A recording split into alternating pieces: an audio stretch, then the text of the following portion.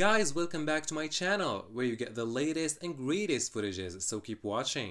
These dogs are brave enough to stand like this on a moving car at high speed, but definitely too risky. Please don't make your dog do any similar things to this.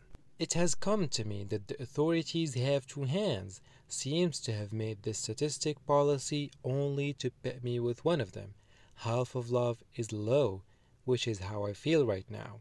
My spirit is broken. I know I promised to be gentle, but my emotions let me down. When I see you, it's like I'm doing a reset to my work stress. Dog Jones is always sleeping like an angel, rent free, no bills paid, and definitely no tasks done around the house. This is the end of the video. Make sure to leave a like and subscribe if you enjoyed it. And also check out these two ones below. And until next time, peace.